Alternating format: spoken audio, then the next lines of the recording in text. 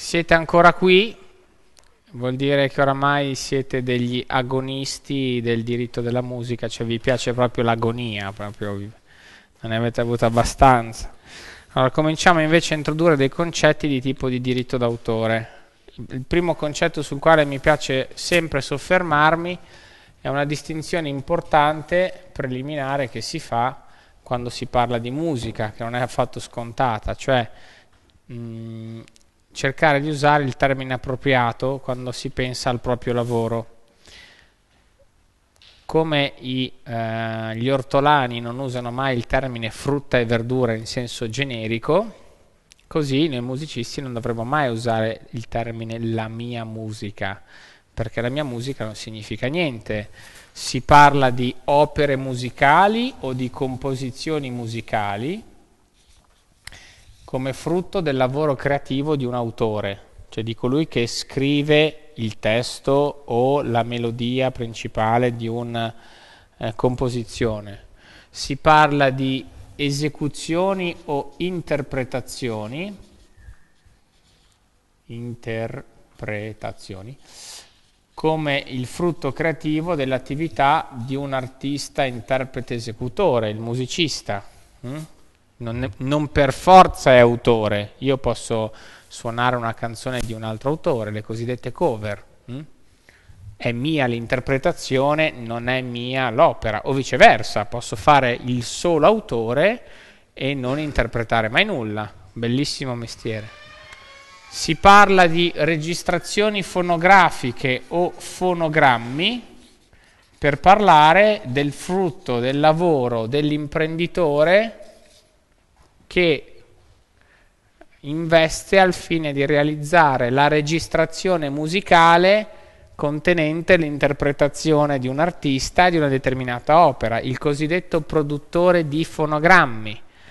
Non è un creativo, è una persona che ha messo i soldi, ha investito il suo tempo o del denaro per far sì che quella interpretazione fosse fissata, registrata. Attenzione a non confondere il produttore di fonogrammi, che è per la legge colui che è il proprietario della registrazione musicale, perché l'ha di fatto pagata, con altre categorie di produttori che lavorano nello spettacolo, ad esempio i produttori artistici o i produttori esecutivi. Queste sono semplici maestranze ai quali il produttore fonografico delega alcune attività. Nel caso del produttore artistico l'attività diciamo di regia del prodotto quindi il produttore artistico è colui che sceglie come va cantato un brano, con che arrangiamento va fatto, con che suoni, con che strumenti, con che mixaggio, ok? Invece il produttore esecutivo è normalmente colui che organizza il lavoro di produzione, quello a cui viene detto questi sono i soldi, portami il disco fatto. E quindi lui prenota gli studi, chiama i musicisti, fa le paghe, eccetera sono pagati dal produttore di fonogrammi, che è quindi la persona fisica o giuridica che si assume l'iniziativa di fare il disco in soldoni. Se voi siete a casa vostra col vostro computerino, vi registrate, voi siete il produttore del, di quel prodotto, ne siete i proprietari. Se voi prendete uno studio di registrazione, lo pagate, andate a suonare, siete i produttori. Se viceversa, io vi invito in uno studio e voi suonate gratis, il prodotto è mio. Chiaro? Attenzione perché queste tre categorie di soggetti, queste tre tipologie di beni, l'opera, l'interpretazione e il, il fonogramma, fonogramma, sono tra loro indipendenti. Quindi quando un artista è autore, cantautore, cantautore autoprodotto in unica persona è tre persone diverse, con tre diritti diversi, con tre fonti di guadagno diverse. Quindi ragionare nel senso di mia musica è fuorviante, perché potremmo avere normalmente quelle situazioni in cui, non so, eh, il brano l'hanno scritto in due, l'hanno suonato in cinque, ma il master l'hanno pagato in quattro ok? La nostra musica, no? io, noi due facciamo gli autori, voi quattro, noi quattro sogniamo, noi cinque sogniamo, noi quattro paghiamo il prodotto. Bisogna dare a ciascuno il suo. Il quarto soggetto che ci può essere, non è obbligatorio che ci sia, è l'editore musicale. L'editore musicale è l'imprenditore che investe nella diffusione dell'opera musicale cioè il produttore investe nella diffusione di quella interpretazione di quell'artista, cioè di quella versione del brano. L'editore investe nel far circolare l'opera. Per fare un esempio che possiate capire in maniera semplice, l'editore di romanzi? Mm, è colui che trova un, un bel romanzo di un bravo autore e dice bene, secondo me questo può aver successo.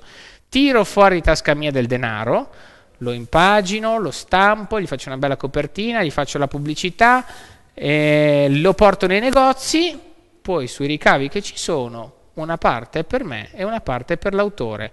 Ho investito denaro nel talento altrui per farci dei soldi io.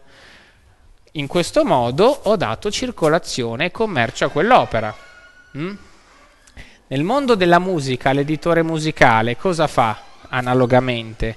Nell'Ottocento faceva la stessa cosa con gli spartiti musicali, che era il modo in cui all'epoca circolava la musica, perché non c'erano i dischi, non c'era la radio, eh, non c'era l'MP3, non c'era il telefono, non c'era internet, non c'era niente, se volevo sentire la musica o la sentivo dal vivo oppure prendevo lo spartito e lo facevo suonare a qualcun altro. La musica circolava con gli spartiti, no?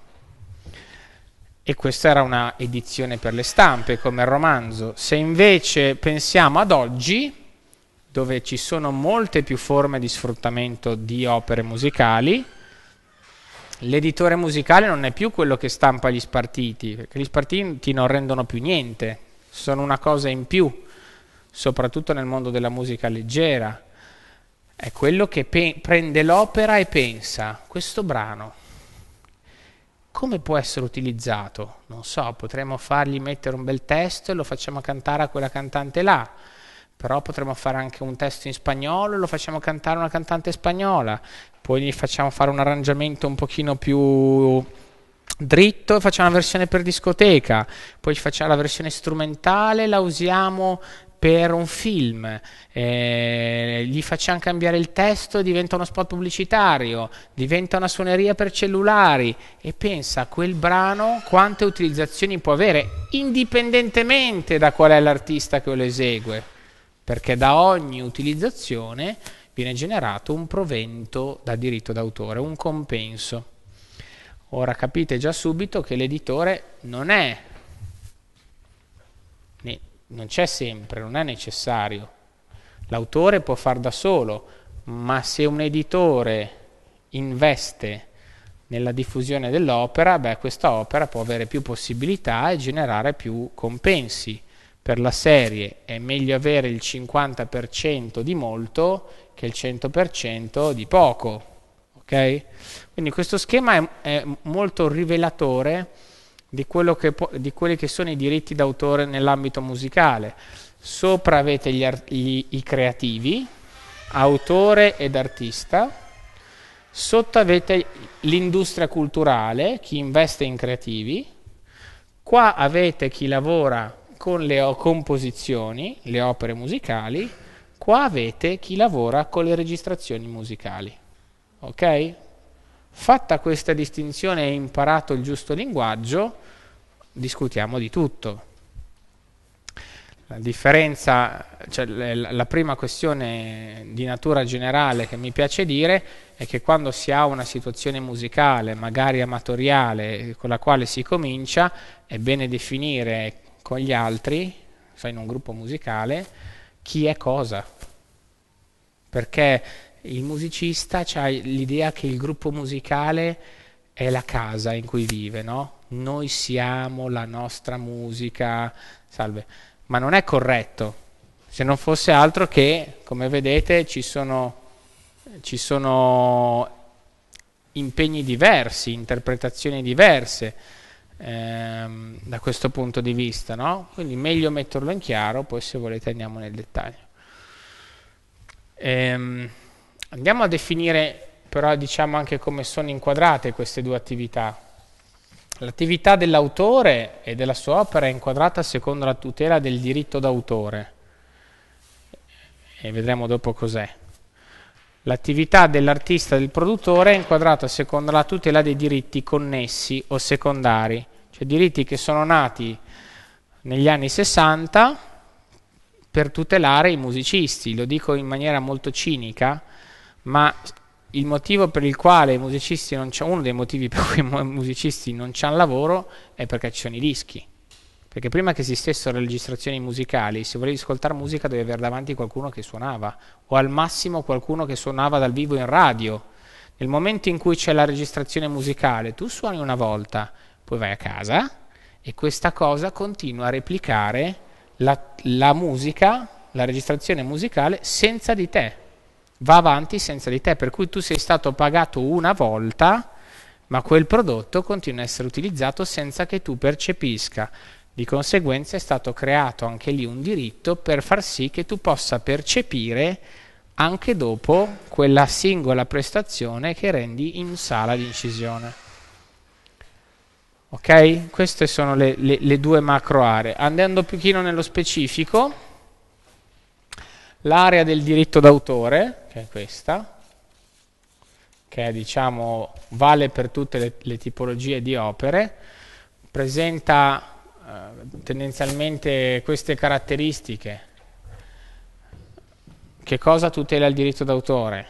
Il diritto d'autore tutela forme espressive, non idee.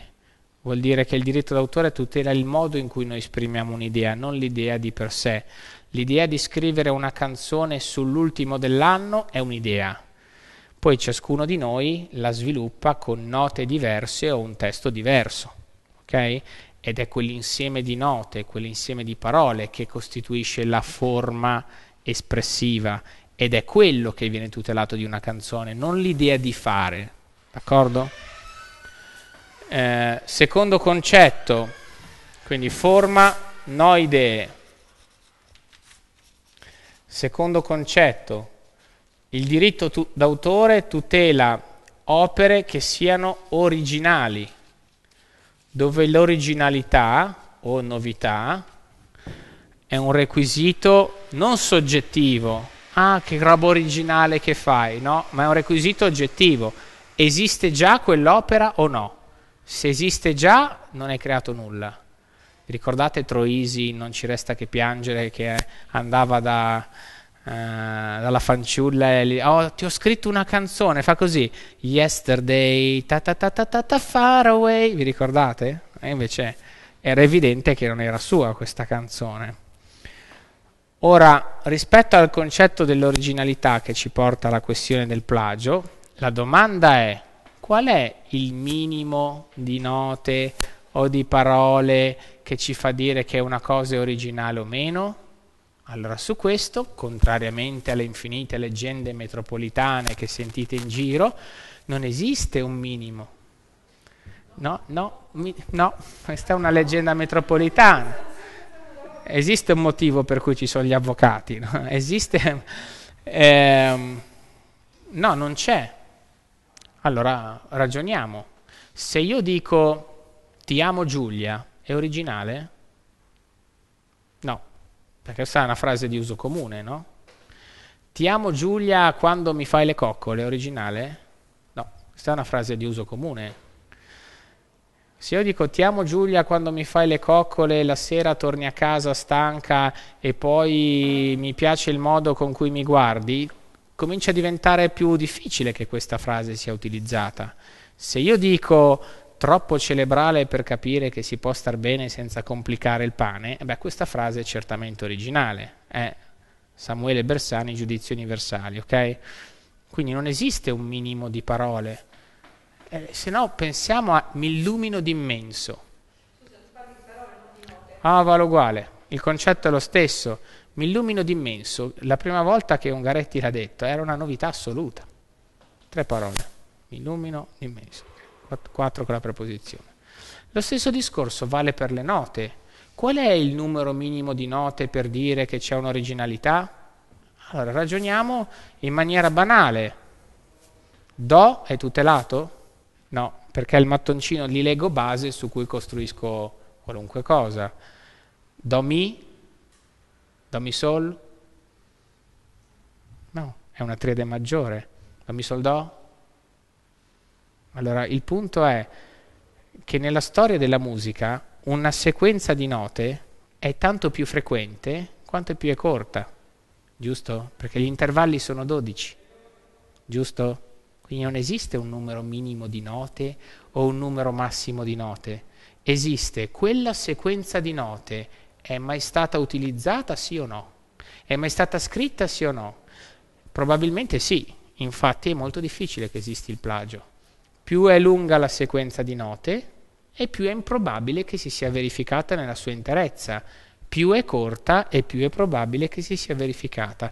Il caso che gli italiani ricordano meglio, soprattutto i pugliesi, Albano Michael Jackson, no?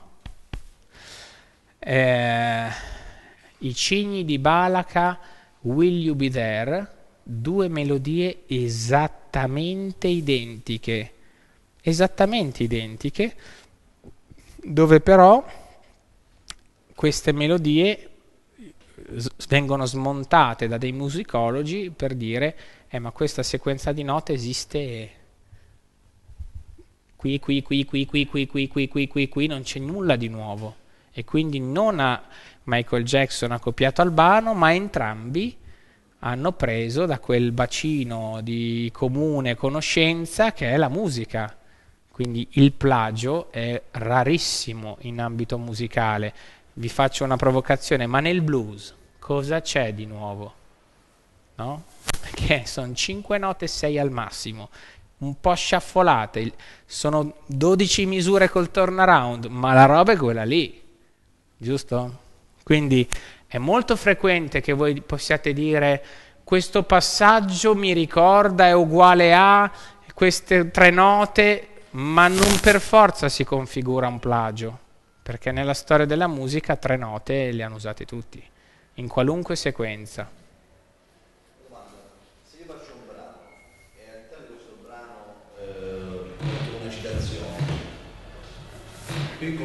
lo, vedia- lo vediamo dopo, per la legge sul diritto d'autore non è considerato una citazione, ma un plagio. Quindi se tu vuoi inserire volutamente una, un'opera altrui nella tua, se tu vuoi fare, adesso dirò, siamo, siamo in diretta mondiale, no? però se tu vuoi fare,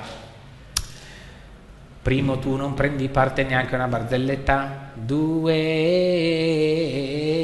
treno dell'amore, portami con te, che è un mondo d'amore rifatta con altre parole da Elio le storie tese nella vendetta del fantasma formaggino, eh, raga, oppure la più conosciuta Born to be Abramo, che dentro c'ha parti di Born to be Alive, parti di Resta con me, parti di Resta con me signora la sera.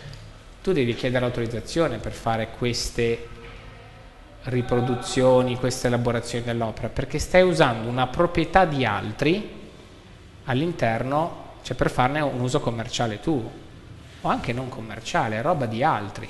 Non è considerata citazione, la citazione nella legge sul diritto d'autore è fatta solamente in ambito didattico, solo per un estratto, citando correttamente l'autore, come hai visto fare da me, no? Anche se non ho citato tutti gli autori, e, e sempre senza mettersi in concorrenza con legittimo diritto dell'autore di guadagnare. E se no il remix il sampling cos'è? Tutta citazione? No, tu prendi piccole proprietà altrui e ci costruisci un business per te. No, buono. Mm? Quindi, requisito di originalità. Terza questione, ci sarebbe anche il requisito di creatività, ma è molto fumoso, vorrebbe dire l'hai scritta tu, fondamentalmente. E mi porteranno i, colleghi avvocati che ci seguono da casa che se sono così sem- sem- eh, semplice. Terzo, terzo punto, da quando nasce questo diritto? Nasce da quando l'opera viene creata. E qual è il momento in cui l'opera viene creata? Il momento in cui per la prima volta esce dal nostro corpo. sono sotto la doccia, fischietto un motivetto originale, tac, quello è il momento in cui l'opera è creata e quello è il momento in cui entra nel mondo e quello è il momento dal quale la legge mi riconosce il mio diritto d'autore.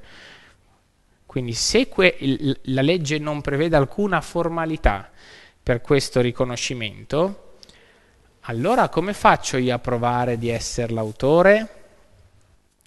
Eh, la legge dice, beh, innanzitutto si presume autore chi si dichiara come tale, per cui la prima cosa che fai quando ti nasce un figlio, vai all'anagrafe e gli dai un nome e un cognome.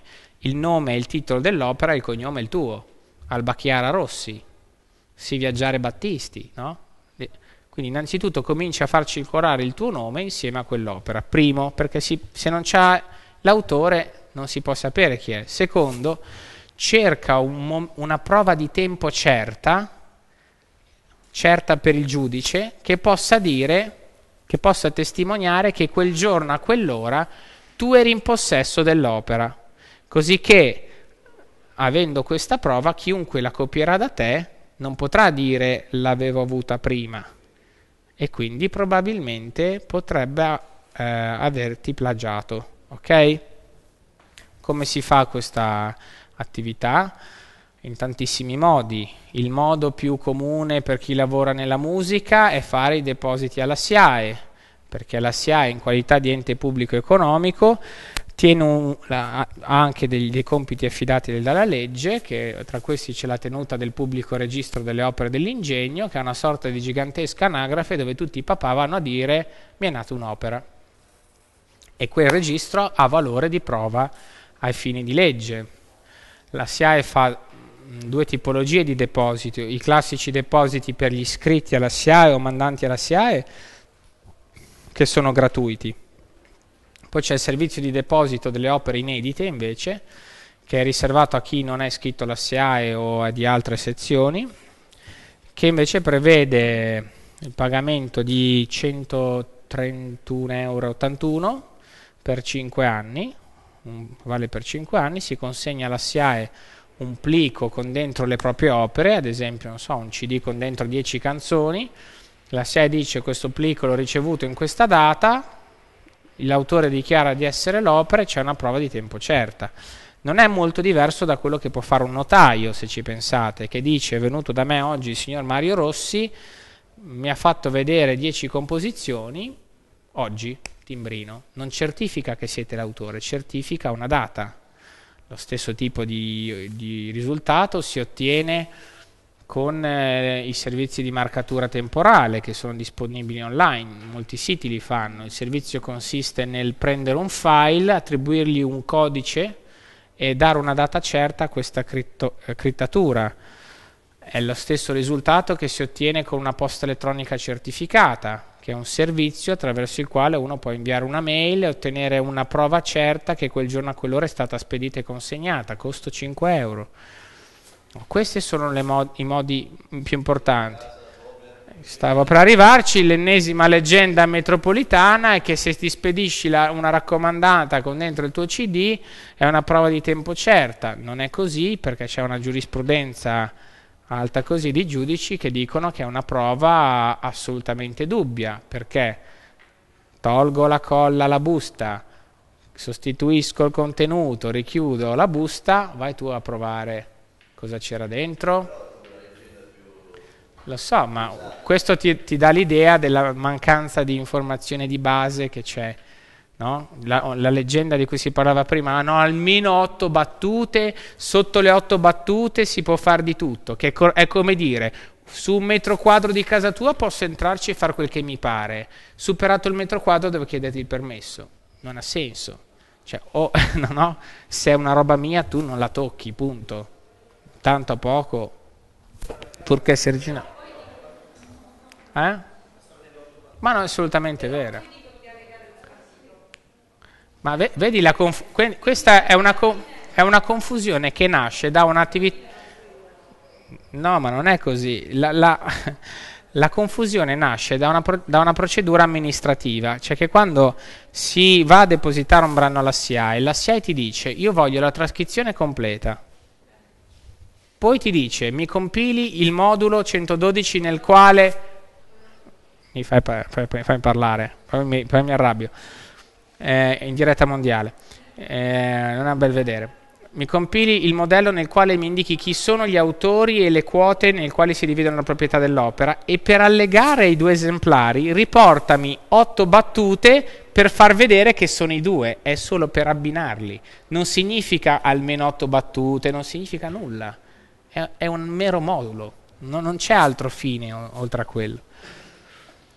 Eh, però aggiungo, ci sono anche tantissimi altri modi per far valere in giudizio un'anteriorità, cioè tantissimi gruppettini di, di, dilettanti ci chiamano e ci dicono panico, eh, stasera abbiamo un concorso musicale, eh, ci sono nella giuria dei, delle persone del settore e noi non abbiamo depositato il brano alla SIAE, adesso ce lo rubano. Scusa, fai un'esecuzione pubblica, ci sono 200 persone che ti guardano, qualcuno anche magari riprende, se c'è da fare un giudizio te le porti a testimoniare, no? se proprio devi andare in causa non è che non vale niente, questo vi ricorda che la tutela c'è anche se non depositate i brani alla SIAE, poi detto tra di noi, se volete fare musica professionalmente, in un modo o nell'altro una prova di tempo certa la dovrete cercare, d'accordo? Ma depositare alla SIAE ha senso se io mi iscrivo alla SIAE perché voglio anche che la SIAE vada a recuperare i proventi generati dall'uso della mia opera. Ma se io oggi scrivo canzoni che non vengono suonate dal vivo, non faccio dischi e così cosa mi iscrivo alla SIAE a fare? Non mi iscrivo alla SIAE trovo un altro modo per ottenere questa prova di tempo certa e mi iscrivo alla SIAE nel momento in cui qualcun altro usa le mie opere. Allora ha senso, no? Eh, guarda, guardate questa è una cosa importante perché voi non lo sapete, ma ci sono alla SIAE iscritti più di 20.000 autori che non guadagnano neanche un euro neanche un euro l'anno. Significa che rimangono iscritti alla SIAE o per il piacere di pagare la quota annuale, o, o, di dire che sono iscritti alla SIAE o perché pensano che se si tolgono dalla SIAE perdono la tutela delle loro opere, che non è così. Una volta che il brano depositato è nel pubblico registro, ci sarà per sempre. Voi andate alla SIAE di Roma, in direzione generale, ci sono i bollettini di Puccini appesi, sono ancora lì, no? Con la firma, con il bel modello 112 fatto. Allora, eh, rispondo quindi alla tua domanda. Eh, qual è la tutela che io posso avere se le mie opere circolano in tutto il mondo, se sono online? Le tutele che la legge prevede. Cercati una prova di tempo certa, metti sempre il tuo nome accanto ai tuoi brani, abbi la prova che sono tuoi, poi non potrai mai sapere se oggi in Giappone qualcuno sente il tuo brano e te lo copia. Questo è un problema di conoscenza però se dovesse capitare e lo vieni a sapere almeno è qualcosa su cui sostenere il tuo diritto. Poi ti ripeto Morricone dice in alcune consulenze tecniche per le cause di plagio che nella musica leggera non c'è più niente di nuovo. Quindi se vuoi fare una roba veramente originale scrivi canzoni particolari con intervalli particolari melodie particolari perché se rimani sul maggiore sul minore che c'è di nuovo, no? Il pa- No, in pubblico dominio, lo vedremo tra poco, è lo stato in cui si trovano le opere trascorsi 70 anni dopo la morte del loro autore o dell'ultimo degli loro autori. Non è che per forza ciò che è tradizionale è di pubblico dominio.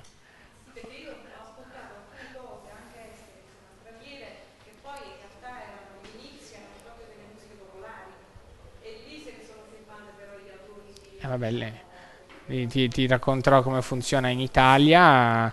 Eh, uno dovrebbe considerare il proprio contributo creativo solo sulla parte nuova e sulla parte di pubblico dominio no.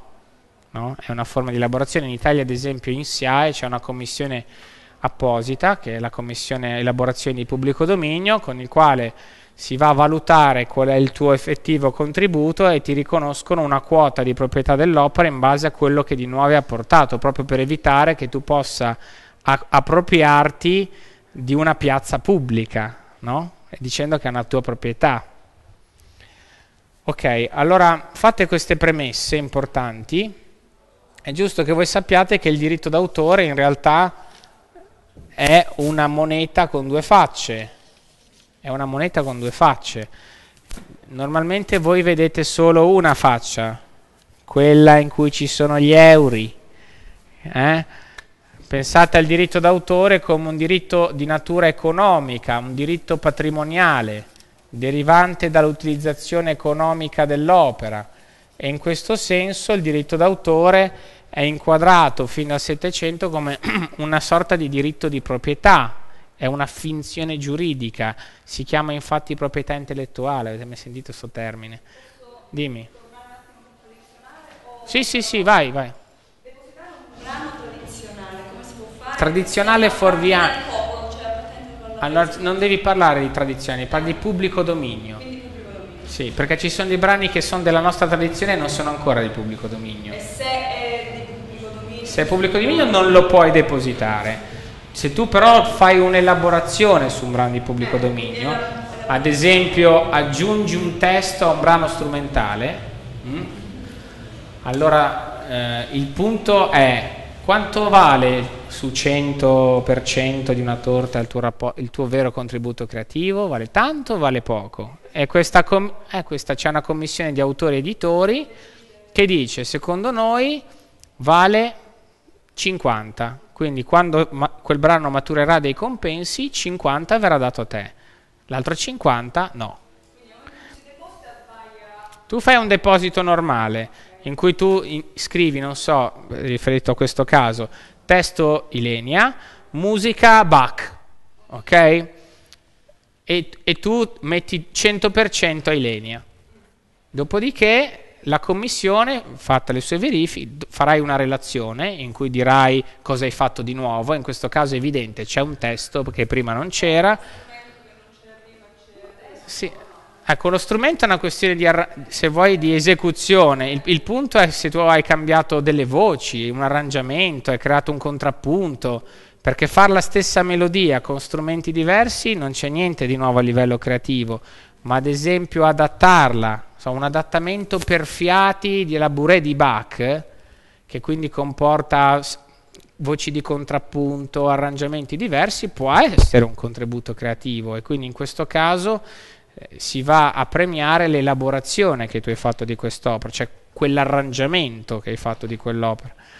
Allora questa commissione dopo un annetto o due ti risponde e ti dice ti riconosciamo su questa tua versione particolare X punti. È proprio per evitare che tu dica no, mi prendo anche il merito di aver scritto oh, quel, la parte musicale che non hai scritto tu. No? Allora, diritti patrimoniali. Diritti patrimoniali. Do, per, per, farla semplice dovete ragionare esattamente come ragionate su proprietà vostre. Mm? Cioè, il diritto d'autore è alla fine un diritto di proprietà, eh, detto brutalmente. Posso usare eh, il testo di una canzone e metterci un'altra musica? No. Posso cambiare il testo di lingua inglese e farlo in italiano? No ci vuole il consenso del proprietario. Questo è il modo più semplice per. Ma esistono anche dei diritti che non hanno a che fare col denaro, ma hanno a che fare con l'autore come persona, che si chiamano diritti morali. Sono l'altra faccia della moneta, quella in cui c'è il faccione, no? Perché, è la bellezza del diritto d'autore, tutela l'autore come lavoratore, dandogli la possibilità di avere uno stipendio per il suo sforzo creativo, stipendio che diversamente non potrebbe avere, ma tutela l'autore come persona, perché nell'opera c'è lui. In quell'opera c'è l'espressione di quell'autore, il suo modo di parlare, il suo modo di vedere la vita, un fatto che lui racconta. E quindi quando si va a toccare l'opera, si tocca l'autore.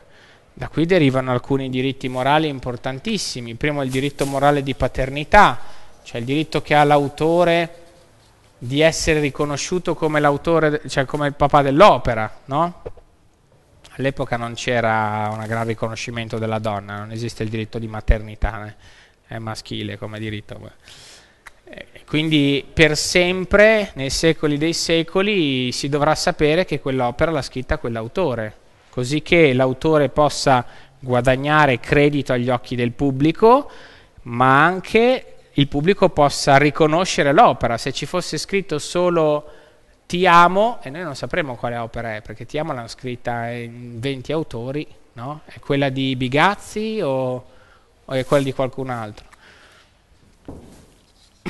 Il secondo diritto è il diritto di integrità, il diritto che ha l'autore di opporsi, di impedire quelle modificazioni cambiamenti o integrazioni aggiunte dell'opera che possano anche potenzialmente arrecargli un pregiudizio grave al suo onore o alla sua reputazione, dove l'onore, la stima che lui ha di sé, la reputazione, l'opinione che gli altri hanno di lui. Cosa significa? Che se io cambio l'opera, cambio il giudizio che il pubblico ha sull'opera e quindi il giudizio che il pubblico ha sull'autore. Quindi non si possono ad esempio fare elaborazioni, non posso derivare da un'opera un'altra opera, non si possono eh, abbinare l'opera ad altre opere. Usare una canzone per uno spot pubblicitario abbinandolo a un marchio potrebbe far pensare che l'autore approvi o non approvi quel prodotto.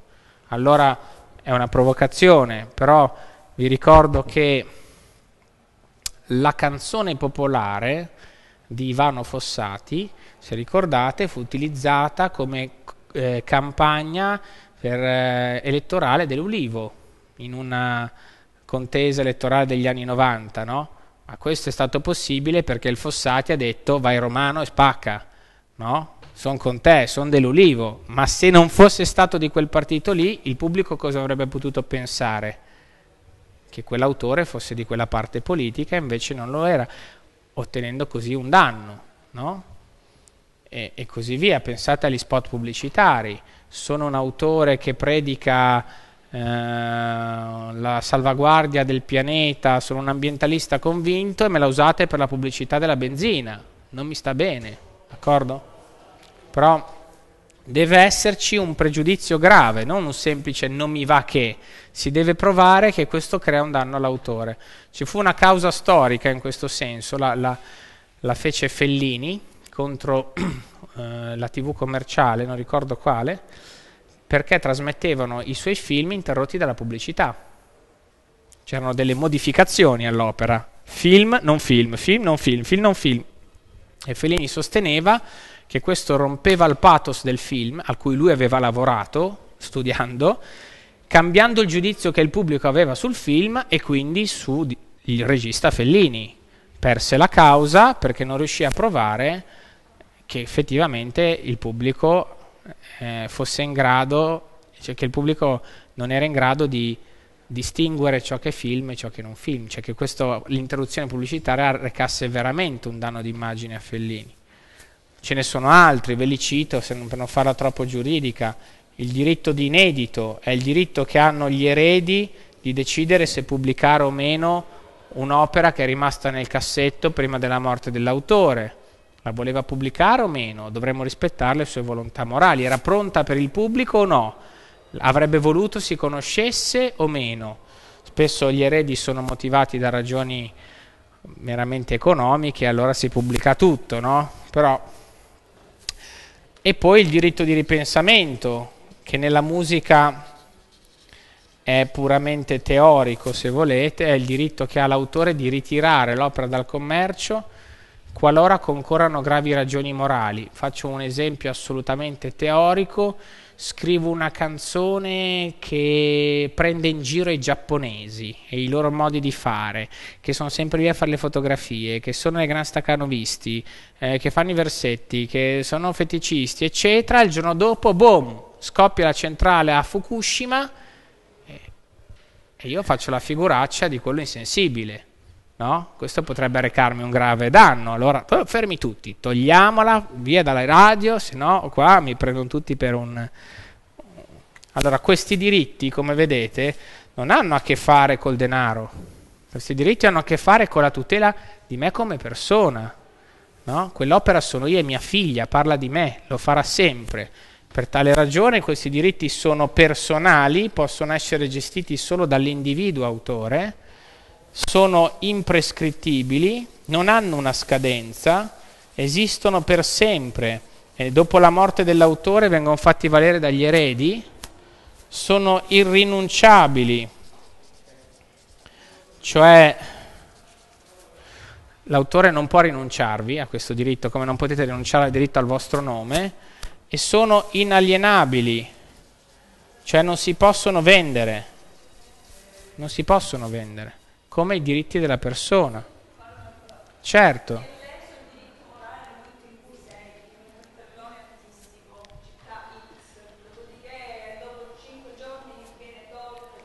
No, non, un, no, non è reso un diritto morale, viene leso un diritto contrattuale perché c'è stato magari un impegno a realizzare uno spettacolo o meno a seconda di come è fatto il contratto e, diventa una questione di natura civilistica, contrattualistica, non eh, sono danneggiato nella mia immagine. Se a, a,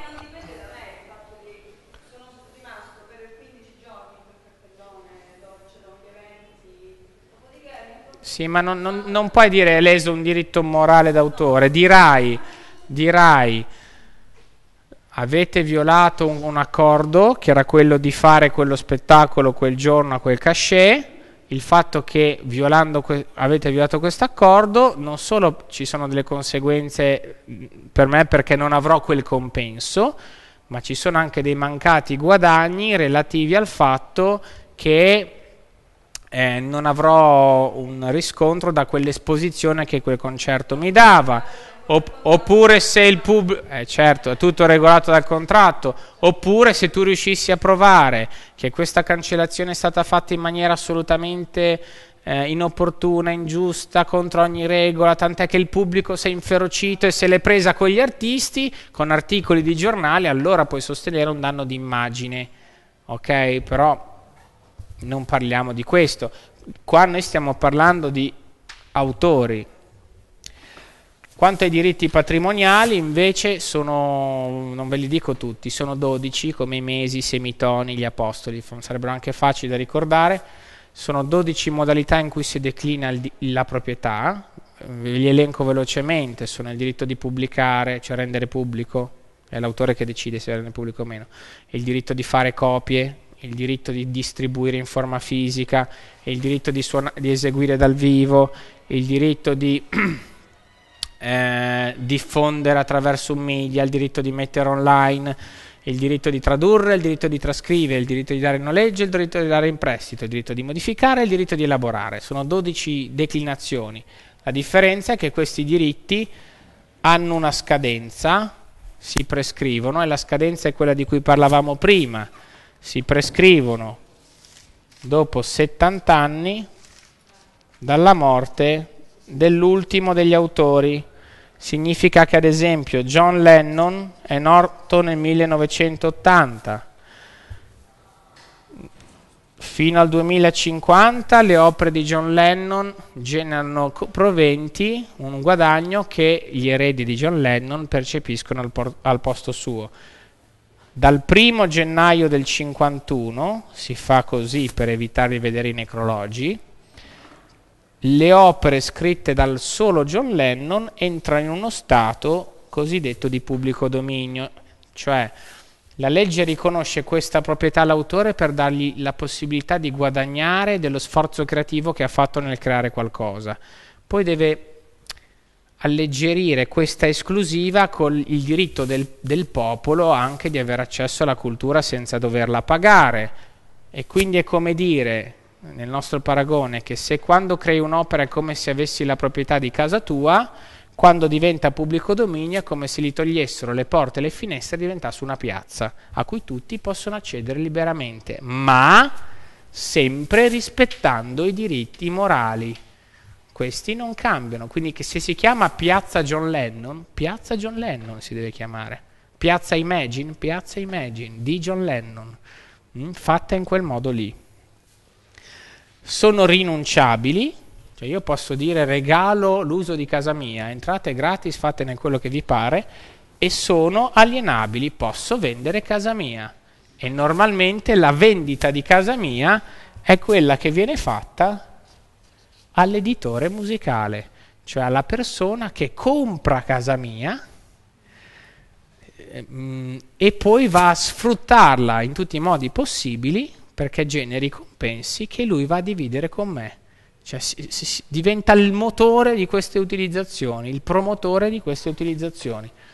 Guardate bene, la cessione dei diritti d'autore è la normale modalità con la quale gli autori guadagnano.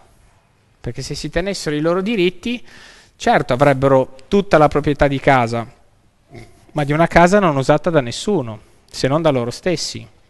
Se invece la danno a un'agenzia immobiliare, questi fanno affitti, affitti, affitti, affitti, affitti questo genera compensi e l'autore si arricchisce. Ok? Questo è in maniera molto semplice eh, il discorso del publishing. Ora, per fare un passo un pochino più avanti, se è evidente che il diritto d'autore è una proprietà, diventa evidente che l'autore non può gestirlo da solo. Perché nel momento in cui io voglio suonare una tua canzone, ti devo chiamare e ti devo dire posso suonarla? E tu mi devi dire sì, a queste condizioni. Voglio 50 euro solo due volte e, e trattiamo. Mm? E il valore di questa trattativa è il tuo stipendio, il provento da diritto d'autore. Ma nella musica l'utilizzazione delle opere è così frequente che è impossibile che l'autore si ehm, gestisca da solo. Per questa ragione, fin dal 1800 sono nate le società di gestione collettiva, cioè gli autori affidano alle società di gestione collettiva come la SIAE il mandato ad amministrare l'utilizzazione delle loro opere, cioè gli dicono guarda queste sono le chiavi di casa, fai tu gli affitti, non ne sapere niente. La società di gestione collettiva concede l'uso delle opere agli utilizzatori e si fa pagare per questo uso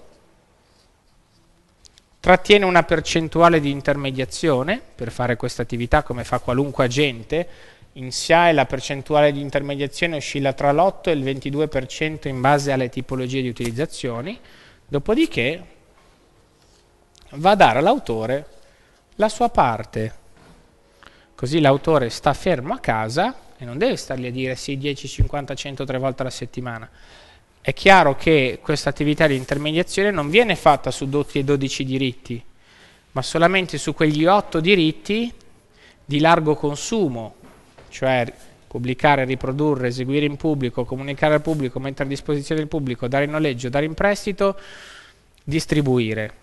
I quattro diritti che hanno un pochino a che fare con i diritti morali, tradurre, trascrivere, cioè fare gli spartiti, modificare o elaborare, li gestisce l'autore da solo. Quindi se io voglio cambiare una canzone, non devo chiedere il permesso alla SIAE, devo chiedere il permesso all'autore.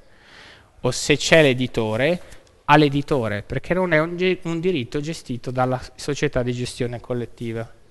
Allora, qual è il vantaggio di questo sistema, indipendentemente dal nome che c'è qui dentro? Hm? L'autore sta a casa non deve occuparsi di nulla.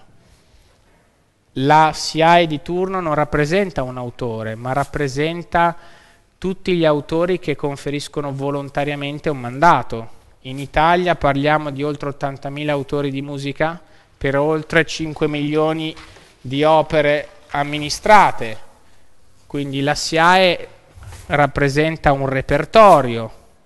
In questo modo può far valere il valore di un singolo affitto in maniera più alta, no? Se, cioè se io oggi giovane autore vado a un pub e dico eh, per suonare i miei brani stasera mi dovete dare 100 euro, il pub mi ride in faccia e dice senti Ciccio o così o fuori dalle balle. Se invece va alla SIA e dice voglio 100 euro o è così o non suoni, no? Perché rappresenta tutti. Allo stesso modo la SIAE ha un accordo di scambio con tutte le SIAE del mondo, si rappresentano a vicenda, per cui la SIAE finisce per rappresentare in Italia il repertorio di tutto il mondo. E questo facilita tutti, perché l'utilizzatore non deve telefonare a 80 autori per fare una serata, va in un unico sportello, paga il diritto d'autore e poi ci pensa il sistema della gestione collettiva a dividerlo tra gli autori dei vari paesi. E allo stesso modo l'autore italiano può raccogliere i compensi derivanti dall'uso delle sue opere in tutto il mondo, senza bisogno di doversi iscrivere a ciascuna SIAE di ciascun territorio. Eh, inoltre un sistema centrale come questo permette di controllare meglio le utilizzazioni. Mm, lo so che è controcorrente dirlo, è anche impopolare, ma la SIAE è conosciuta nel mondo per essere una delle migliori società di gestione collettiva del mondo per quanto riguarda le pubbliche esecuzioni, perché territorialmente è distribuita molto bene. Tant'è che i, i mandatari SIAE sono odiati da tutto il popolo italiano, perché sono quelli che vengono a romperti le scatole a dire ah, c'è musica, devi pagare il diritto d'autore. Questa è un'attività che è fatta a favore degli autori. In altri paesi questa eh, capillarità non c'è, e la conseguenza dell'assenza di questo controllo è data dal fatto che non ci sono i borderò da compilare, cioè non ci sono le rendicontazioni analitiche di ogni serata per cui poi si possono prendere quelle rendicontazioni e dividere i brani sull'effettivo utilizzo, ma si fa forfè, si incassa tutto, si prendono un campione di, di utilizzazioni, si divide tutto su quel campione, non si può fare analitico in questo con tutti i limiti che possiamo esaminare, eh, la SIA è meglio di molte società. Eh, il monitoraggio, quindi l'autore singolo non può sapere se oggi a Bologna si suona un brano suo, la SIA è sì, no? Ehm, quindi in realtà il sistema della gestione collettiva eh, garantisce nella musica la raccolta dei principali diritti d'autore in favore degli autori. Noi possiamo discutere, ed è giusto discuterne ampiamente, di la SIAE funziona bene, la SIAE funziona male, la SIAE divide male, la SIAE paga bene, la SIAE costa troppo, la SIAE costa poco, ma non possiamo discutere della necessarietà di avere una struttura che faccia questa attività perché se non ci fosse la SIAE gli autori di musica hanno finito di guadagnare. Non è invece vero questo in altre tipologie di opere, ad esempio nella, nelle opere della letteratura non è necessaria la SIAE, l'autore fa un accordo con l'editore, l'editore pubblica il libro, gli riconosce una percentuale, la SIAE non serve, ok? E così via. Ehm, Ecco, si discute molto in questo periodo storico, lo sentirete tantissimo, del fatto di liberalizzare la gestione collettiva in Italia, cioè di avere un'alternativa alla SIAE. Eh, io non so che opinione vi siete fatti voi in merito, eh, se volete ci, ci, soffermiamo a parlarne, se volete eh, vedere che scenari sarebbero possibili. Ecco, in generale sappiate che non esiste paese in Europa dove esistono due SIAE. E questo non per imposizione di legge, ma per scelta. Cioè l'Italia è un paese dove la SIAE esiste monopolista per legge, è imposto il monopolio. Negli altri paesi non è così, è stata una scelta di ciascun paese, ma in una scelta libera scegliere un'unica società vi dà l'idea del fatto che non ha senso probabilmente avere due società che fanno la stessa cosa avrebbe conseguenze gravi nel nostro settore.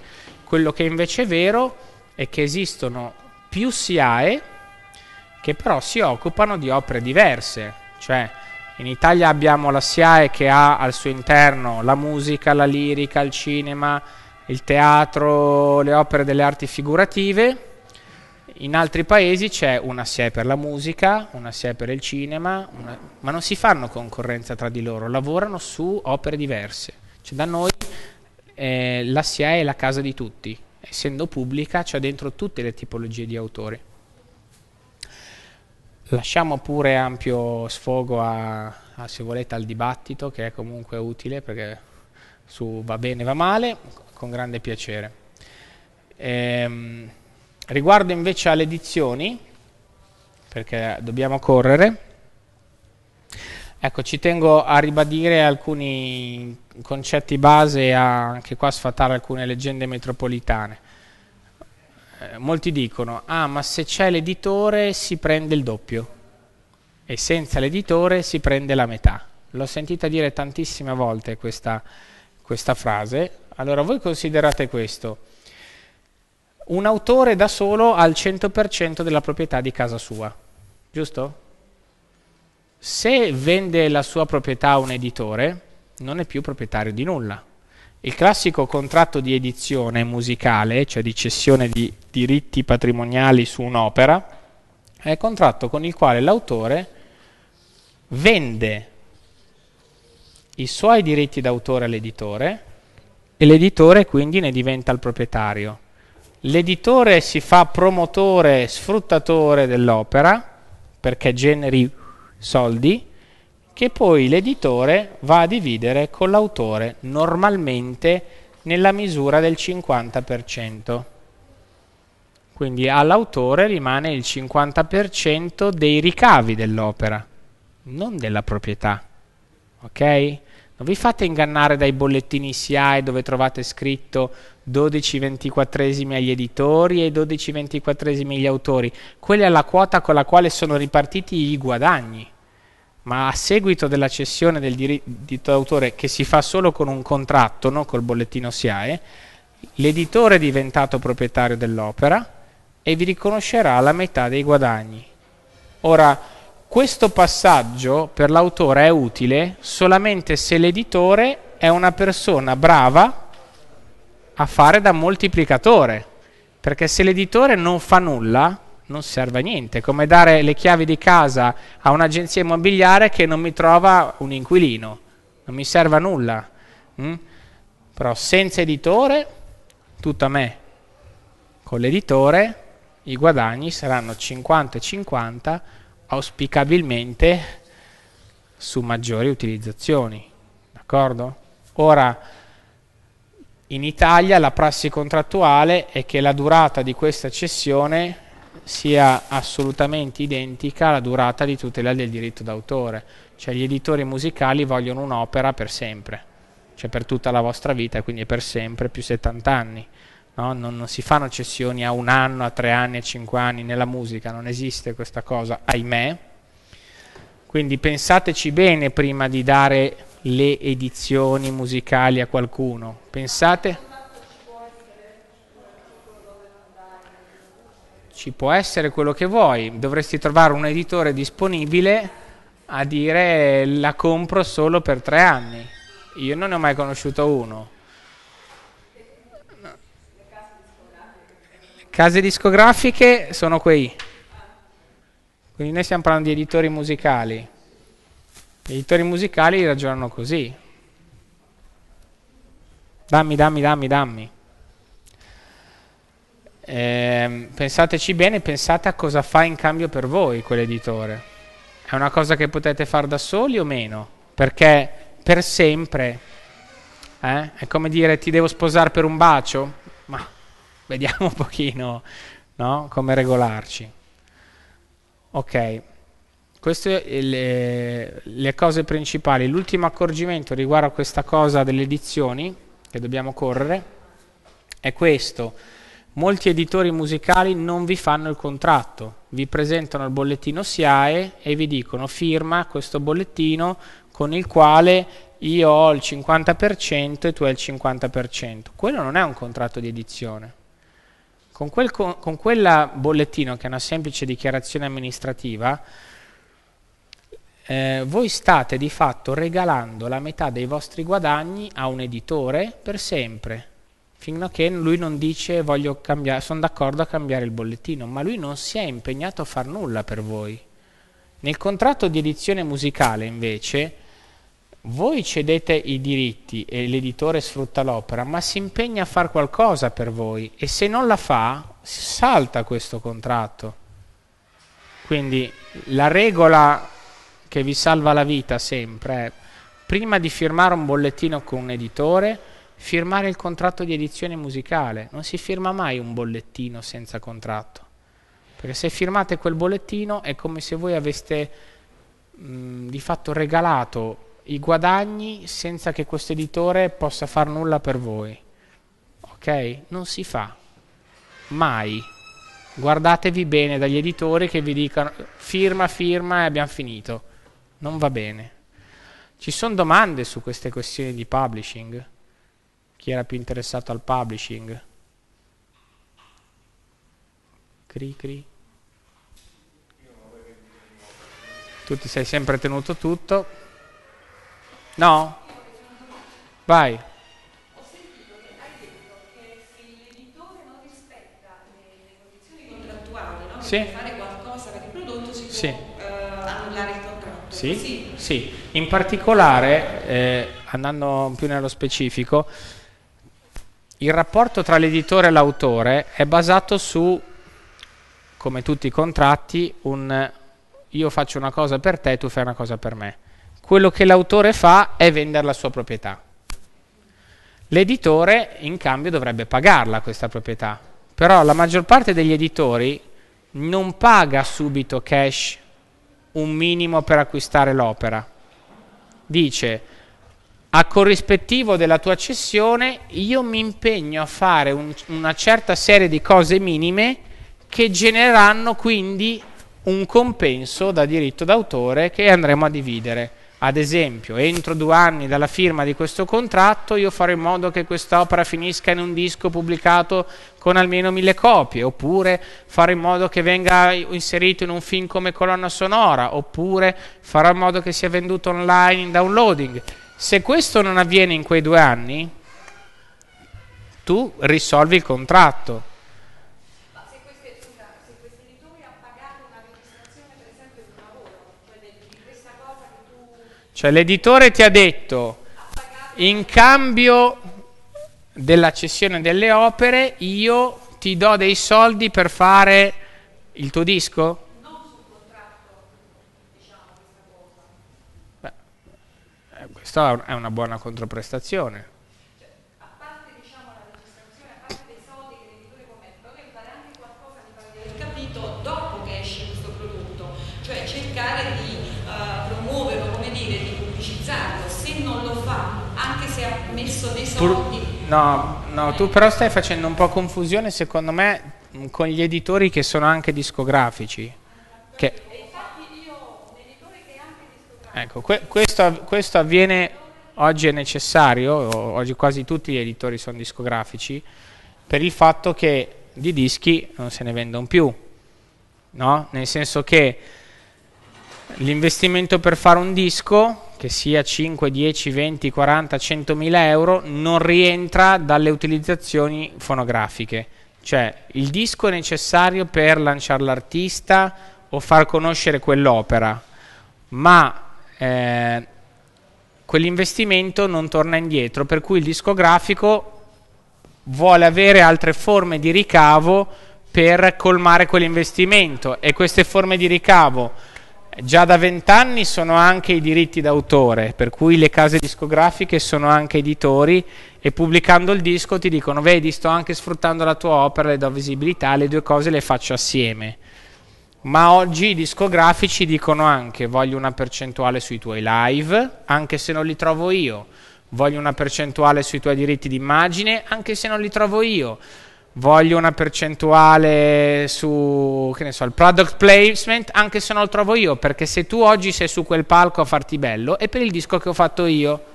E quindi vado a prendermi qualcosa su tutto quello che fai, se no io ho fatto l'investimento in perdita e tu ci guadagni.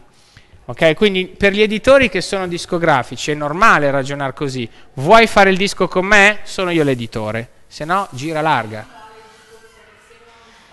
Ma è già nel momento. Guarda, gli editori che sono discografici lo fanno alla prima pubblicazione. Il punto è che la prima pubblicazione è qui. Eh, poi magari, quest- come eh, avviene nella musica leggera, il ricambio della musica leggera è così veloce che fra due anni quella canzone chi se la ricorda più? Lui non la lavora più, c'è già altro cui pensare. Eppure, paradossalmente, quella canzone c'ha ancora 100 anni di, di guadagni davanti. Allora lì si pone un altro problema. È il problema legato al fatto che, che quel disco è fermo e quell'opera è ferma, no? E se tu avessi contratti di edizione più corti potresti dire vabbè questo non lavora più, andiamo da un'altra parte, però non è eh, ma non trovi nessuno disponibile a farlo. L'unico caso che puoi avere è il caso in cui è il caso in cui il proprietario del master sei tu, te lo sei autoprodotto.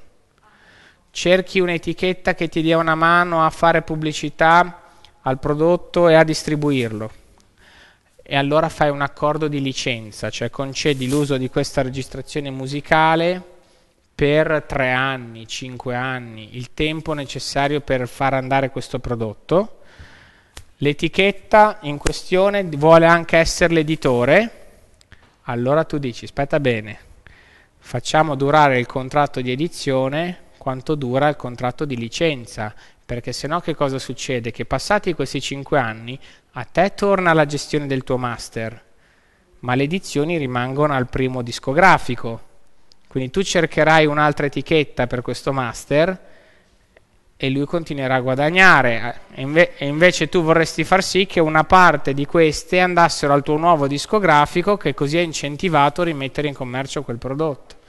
Allora questo è un caso in cui si può cercare una limitazione di durata oppure una limitazione di, di quote nel tempo, no? per dar spazio ad altri editori o coeditori mh? Mm? altri investitori, però diversamente eh, etichette che dicono lavoro le edizioni due anni, ma non...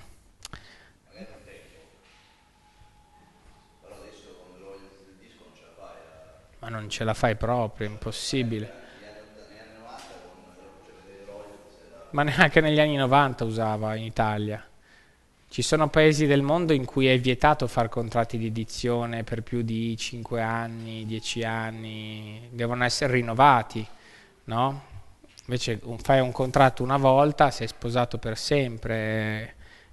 Eh, eh, eh, eh sì, più che vita, vita tua, dei figli e dei nipoti, perché è tutta la tua vita più 70 anni, no? Ok. Ehm, Vorrei domande specifiche perché sennò io vado su coeditori, subeditori. Vai. Sì. Che adesso stanno diventando editori. Sì. Cioè perché praticamente che succede? Quando Tutti stanno diventando editori.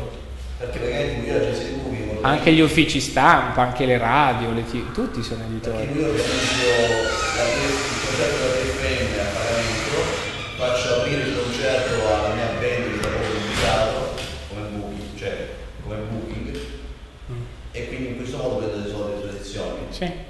Cioè questa cosa sta avvenendo realmente. Cosa esiste da, da, da decine di anni. Quello che sta avvenendo è che diventa editore anche chi non è del settore musicale. Ti faccio degli esempi. L'ufficio stampa di musica, no?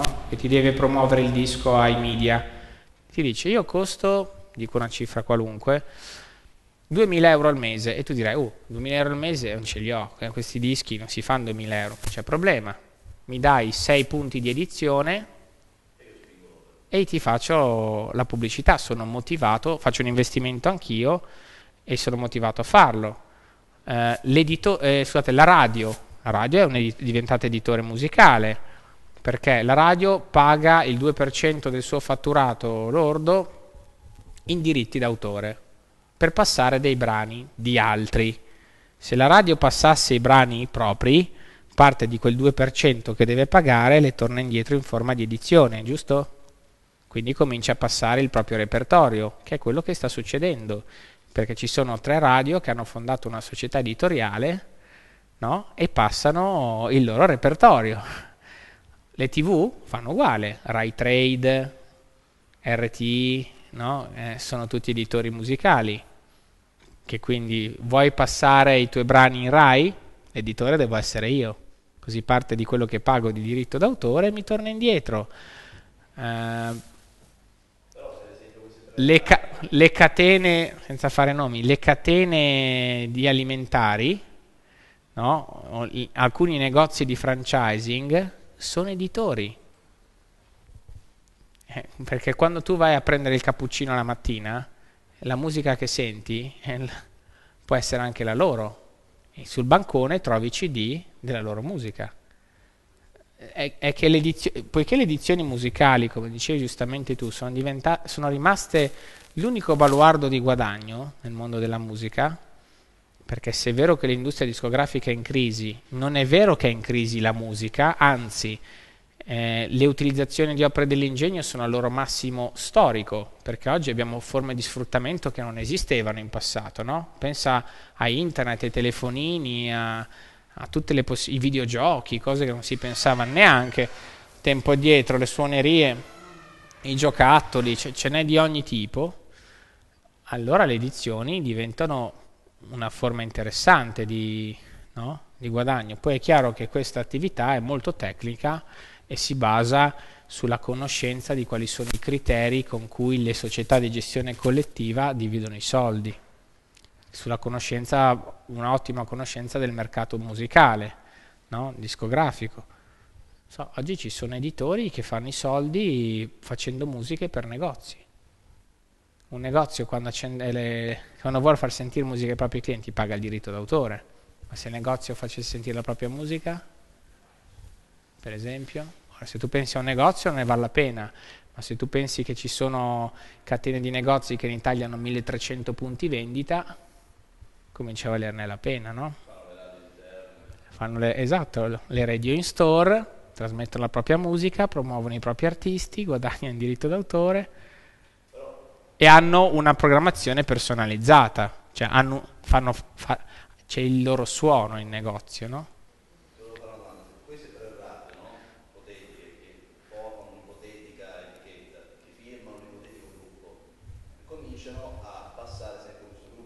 Sì. No.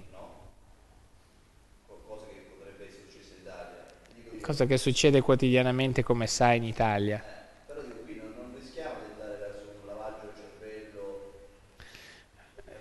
Qui da un punto di vista cioè.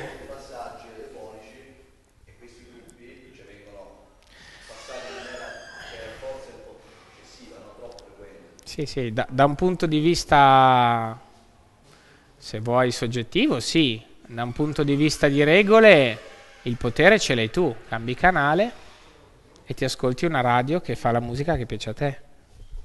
Capito? Tu non sei costretto ad ascoltare quel canale, non è mica monopolista. È come se tu vai in un ristorante in cui tutta la vita ti hanno proposto 50 tipi di pizza, no? Poi il pizzaiolo e il moroso della cassiera prendono quello, fa solo la quattro stagioni. Tu cosa fai? Cambi pizzeria.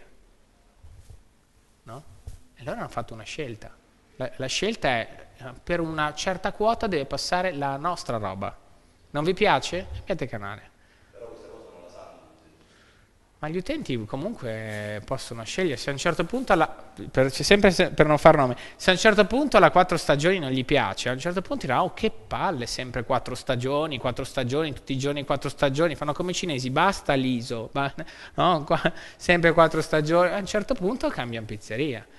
Tant'è che se tu, io e te sappiamo benissimo di chi stiamo parlando, tant'è tu sai benissimo che c'è una parte d'Italia che la odia a morte la quattro stagioni per questa ragione, perché senti sempre quella minestra lì. No? Però magari si riscatto io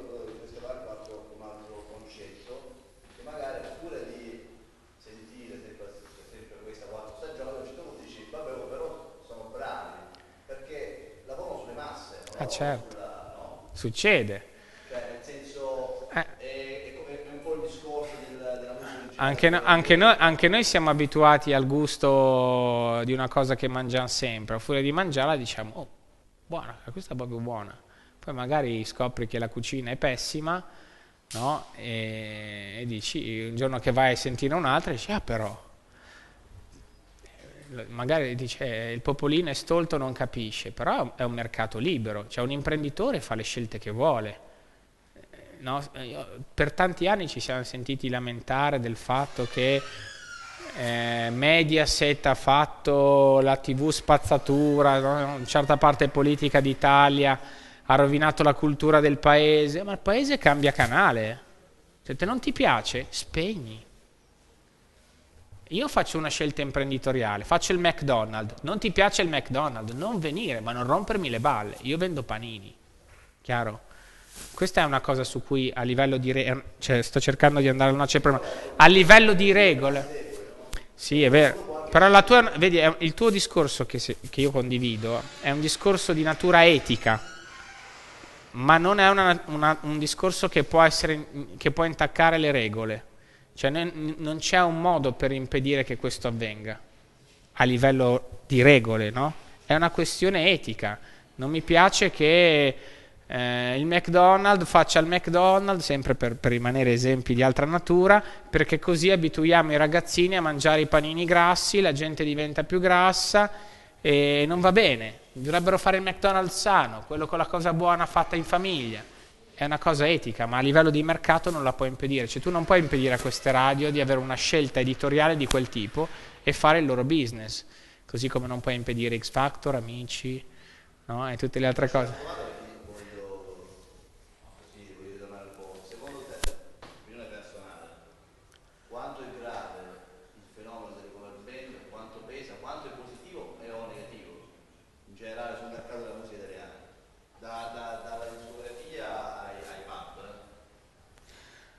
Ma guarda, io non, non, lo considero un fenomeno grave, io lo, lo, considero un fenomeno come tanti. Secondo me la cosa grave è da, è da un punto di vista, se vuoi, di educazione musicale, che è, prima di quel fenomeno. Cioè, a me la cosa che, che, io vedo nel nostro paese che non c'è, mi piacerebbe ci fosse di più, perché come te sono un appassionato di musica, è il gusto di andare in un locale a sentire qualcuno che fa roba sua che non conosci, che se si mette a fare una cover lo fischi, come fanno in Inghilterra, perché dicono guarda che se voglio sentire le cover accendo la, la radio, cioè non, sono venuto qui per sentire te. Allora, noi invece a, questa cultura non ce l'abbiamo della scoperta, no? E secondo me proprio perché abbiamo probabilmente una cultura musicale di base molto bassa, perché a scuola magari non, non, non, non è fatta bene.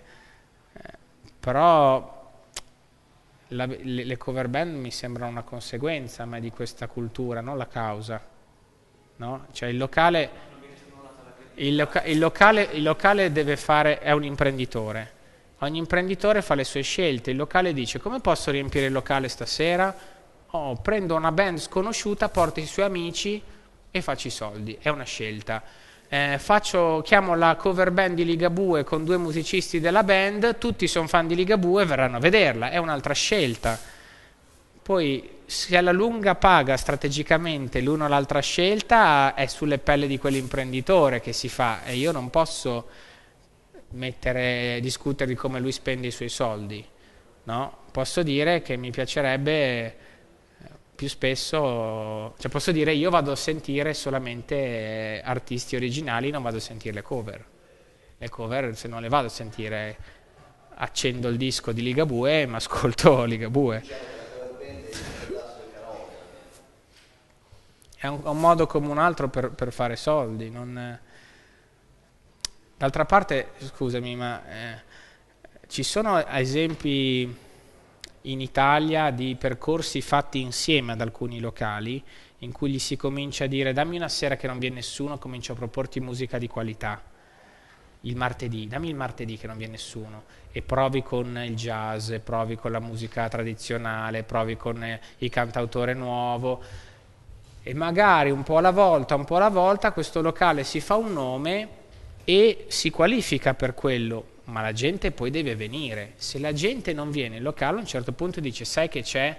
Che un, un DJ che preme un pulsante, fa, cioè, faccio più soldi. E alla fine io devo portare a casa la pagnotta, non è che sono le mie chiappe sui tuoi gusti musicali.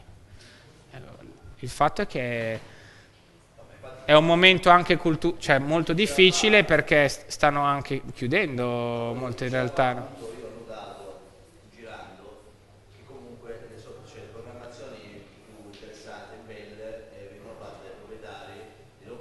direzione artistica, se stasera ci sono 5 persone, domani 100,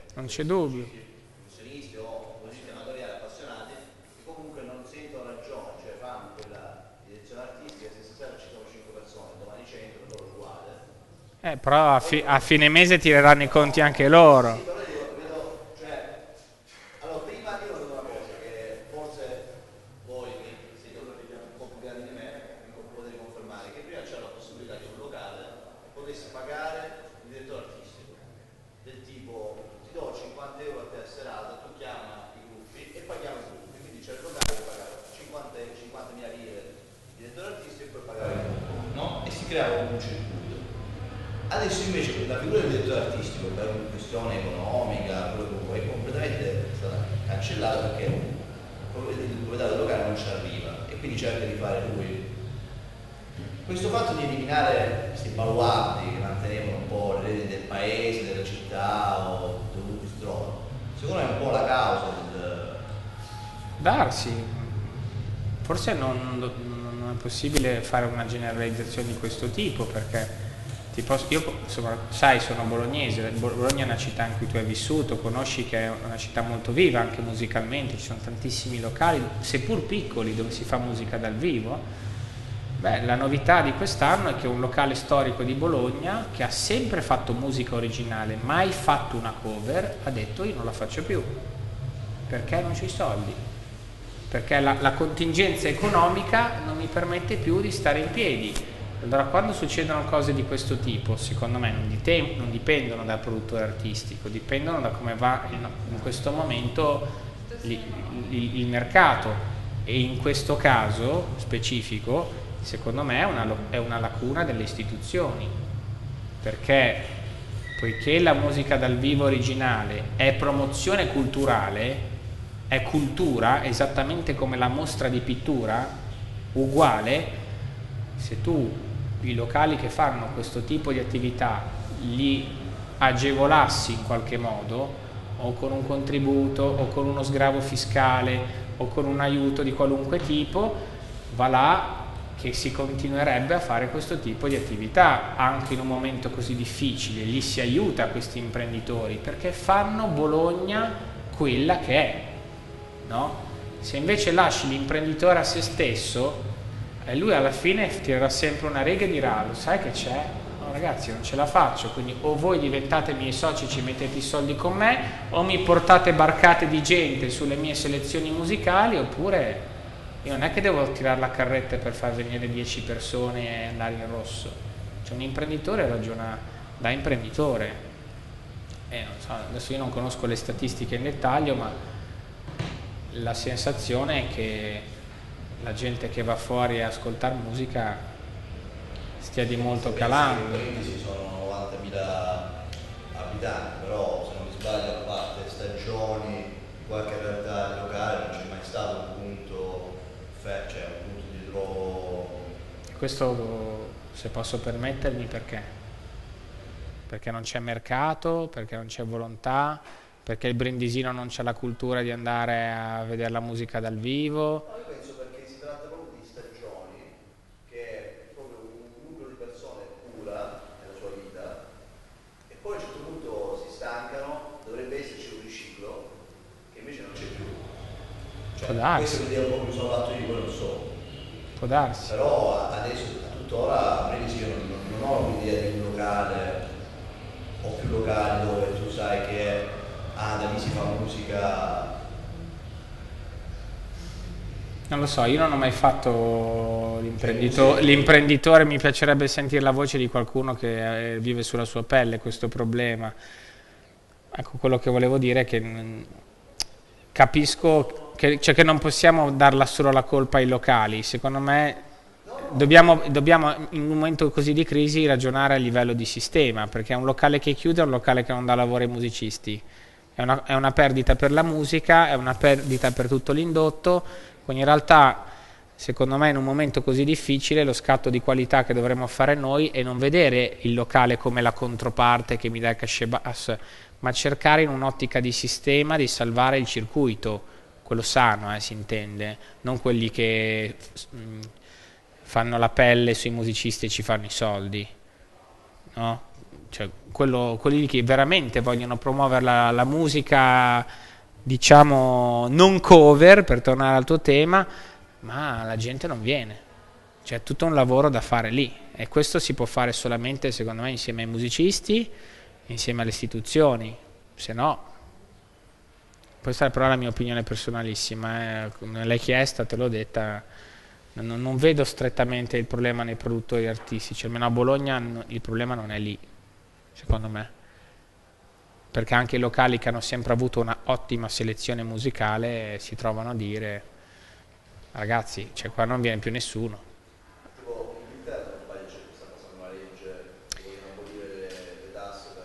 è passato il Live Music Act, che è una, uh, è una, legge che ha tolto ai locali che hanno meno di 200 posti alcuni adempimenti burocratici, cioè semplifica l'attività per fare musica dal vivo. Mm, è un, una sburocratizzazione, diciamo. Non ci sono incentivi economici particolari, però che io, che io sappia.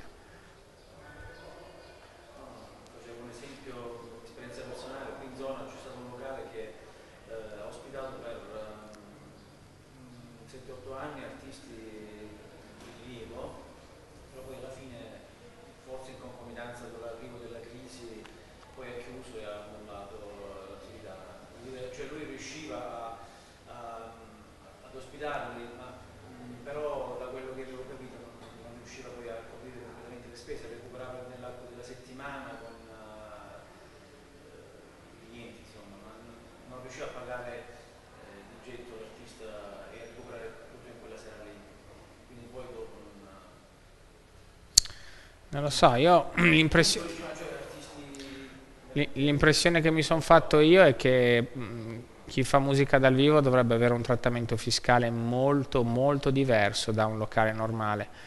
Cioè, anche perché per quello che sento girando l'Italia, tantissimi per fare il locale sono costretti a fare o nero o aprire in forma di associazione perché se dovessero farlo nella forma imprenditoriale tradizionale non starebbero in piedi coi costi questo è un, è, un, è un segnale secondo me interessante perché è sbagliato il concetto di dire io farò il mio business alle spalle dello Stato. No? Prima fai i conti e poi se non puoi fare il business non lo fare.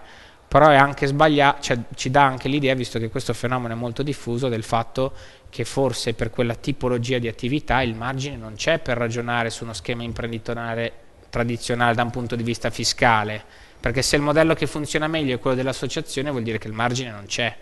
Allora a questo punto il nostro Stato dovrebbe dire fate, promuovete la musica italiana, fermi tutti, a voi vi trattiamo in un altro modo, a queste condizioni, con questi controlli, ma voi siete quelli che promuovete la cultura nel vostro territorio, fate aggregazione sociale, fate lotta alla criminalità, fate lotta al disagio, voi siete i centri culturali del vostro territorio vi aiutiamo noi e quindi anche se siete imprenditori, sì perché se no come dicevo prima ti nasce il centro sociale, poi il comune perché è un po' politicizzato sul centro sociale non guarda, gli imprenditori chiudono e allora capisci? E questa però è l'impressione che mi sono fatto io soprattutto sul mio territorio.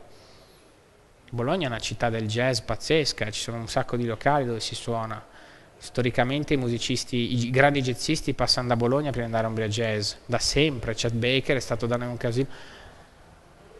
Però, cioè, oggi chi va a sentire il jazz? Chi ci va? Ha un pubblico di nicchia, non è una roba in voga come era negli anni 70 eh? o 60, dove era... Cioè. Che ora abbiamo fatto? Boh, siamo bravissimi. Domande? Io potrei andare avanti ore e ore e ore e ore e ore. Ma ci sono... Ma la regia mi ucciderebbe e forse avremo suicidi online. Ok, allora se avete alcune domande facciamole, se no... Eh, è un'infarinata un po' di tutto. Ma...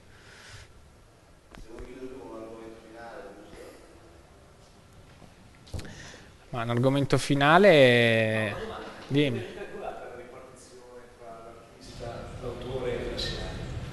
Allora, la SIAE, la SIAE ogni anno pubblica un'ordinanza di ripartizione che viene scritta da una commissione che è fatta da autori editori scelti dall'Assemblea e poi approvata dal Consiglio di amministrazione.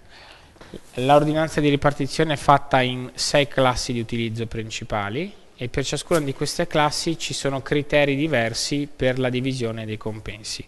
Si passa da criteri di natura analitica, cioè per ogni singola utilizzazione c'è un singolo compenso, che è il criterio più limpido, più giusto, più equo, più coerente con il concetto di proprietà ed è ad esempio presente nel caso della musica dal vivo in ambito concertistico, cioè concer- con, musica dal vivo della musica è protagonista, quindi non so, spettacoli in piazza, concerti di musica classica in teatro, eh. allora in quel caso tu sai si compila il borderò, se è borderò rosso, cioè se è musica leggera, si divide il compenso incassato in diritto d'autore per il numero di brani suonati alla romana, 100 diviso 10, 10 euro a testa, escludendo i bis e i brani sotto i 30 secondi. Mm? Nella musica colta, borderò, borderò blu si, si, fa a durata, no? per la durata di utilizzo. Questo è un criterio analitico lo trovi nel concerto, lo trovi nei, nelle registrazioni fonografiche, è un analitico a durata, lo trovi nella musica online, eh, lo trovi nella utilizzazione di musica nei cinema, no? sono tutte analitiche. Poi ci sono dei criteri che sono cosiddetti a campionamento, dove non, si, cioè non ci si basa sul rendiconto, ma ci si basa su un campione. È quello che è successo nel ballo con strumento meccanico, ad esempio eh, cioè la musica dei DJ o quello che è successo nei concertini, cioè gli spettacoli dal vivo in un contesto dove la musica non è protagonista, ma dove la musica è sottofondo, cioè i ristoranti, i pub, quelli si chiamano concertini o intrattenimenti musicali. Eh, allora in questo caso la SIA ha scelto dei criteri misti, io quando dico la SIA intendo sempre gli autori e gli editori, eh, perché è gestita da, dalla categoria. In parte di considerare i report analitici in parte di andare a campione, no? Selezionare mille controlli al semestre come capita nel concertino piuttosto che 4800 ore di registrazione per il ballo e dividere i compensi in questo modo. Questo criterio è più ingiusto ma più, è, ma più economico perché costa meno.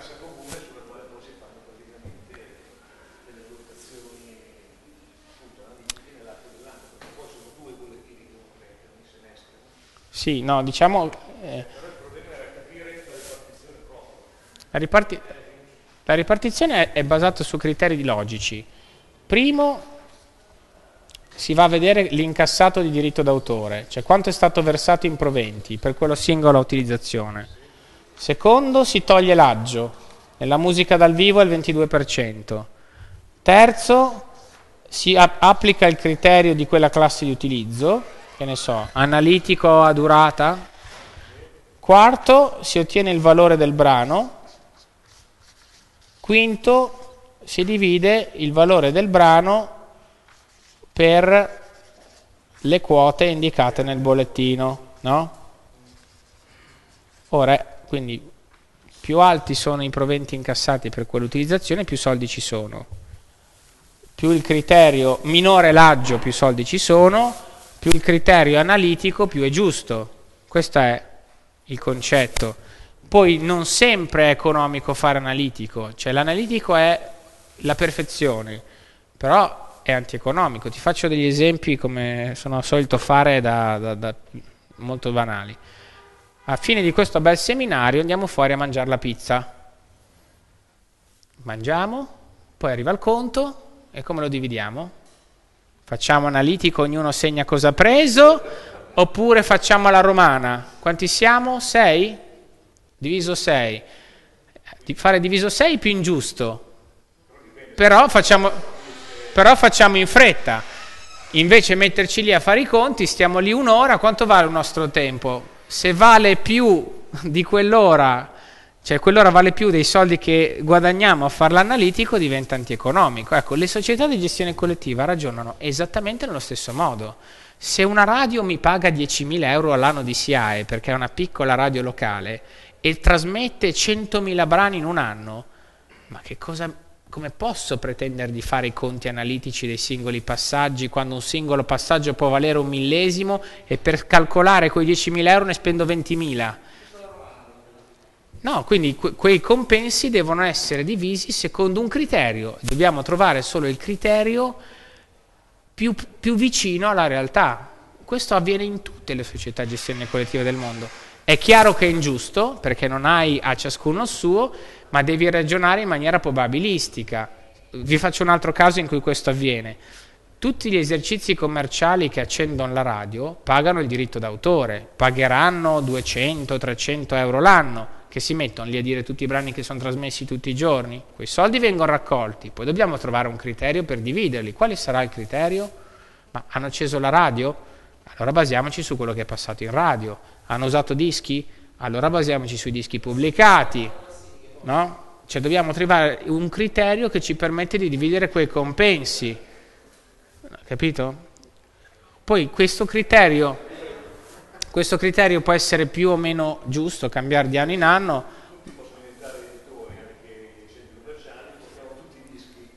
Eh, bisogna vedere quanto paga quel centro. Se ci fosse un criterio analitico, sì. Ma è così che si fa business con la musica. Gli editori ragionano così, capito? Una nave da crociera fa musica dal vivo tutte le sere, ma cosa facciamo? Paghiamo il viaggio in crociera a uno che sta lì a ascoltare cosa fanno per sapere cosa fanno? Non si può fare. Ed è il motivo per il quale in, in tanti paesi l'analitico non esiste. Voi andate negli Stati Uniti d'America, non c'è l'analitico, perché vai tu a fare un controllo su una superficie di quel tipo. Come fai? L'analitico c'è solo sui grandi eventi, in tutti gli altri c'è il forfè e poi bisogna pensare come dividere quei soldi. E ogni paese fa le sue scelte, no? Capito?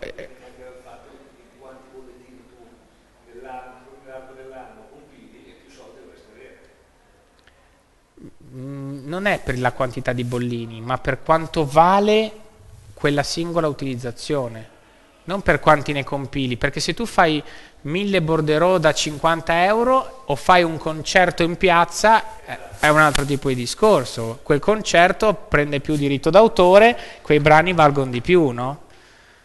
Il, il, il criterio comunque trascina... Eh, torniamo all'esempio della pizzata e poi chiudiamo che dalla regia ci dicono che, che anche ora. Mettiamo che uno di noi va via senza pagare prima della fine della sera, succede sempre, eh? no? Va via, a questo punto che facciamo? Cioè, la, la, quota di quello che è andato via, come la copriamo? Dividiamo in 5, è un criterio. Oppure facciamo a, tra, oppure facciamo a trascinamento, cioè tu hai speso 10 o ho speso 5, tu devi prenderti parte della sua quota al doppio della mia. È un altro criterio. No? Dobbiamo semplicemente decidere qual è il criterio che più si, si avvicina alla realtà.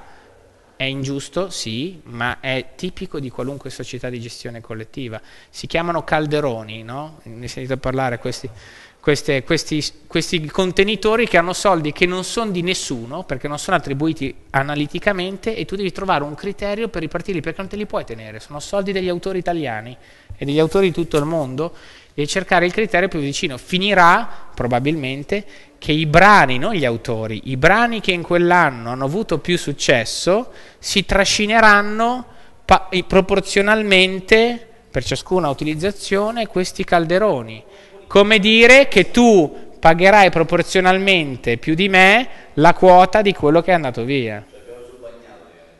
Eh, piove sul bagnato. L'anno, l'anno che... L'anno, l'anno che eh, il tuo brano ha avuto successo pio piove sull'asciutto per te perché probabilisticamente i bar hanno sentito la tua canzone non la mia che non è stata passata giusto? questo è il criterio non è una, una forma di no no guarda è così in tutto il mondo non è una roba sì sì siamo, noi siamo molto abituati anche a pensare male sì, sì.